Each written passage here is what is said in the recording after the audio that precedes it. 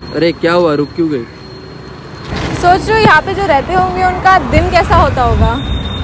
This is how I would wake up in my fancy 2 BHK apartment. It will always be bright with great ventilation because it was made that way.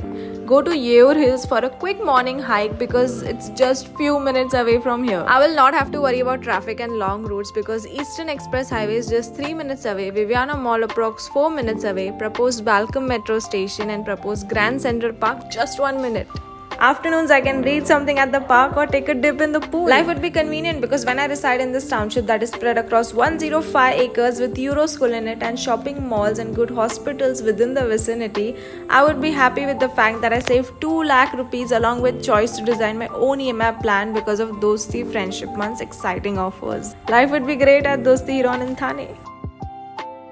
क्या हुआ कुछ नहीं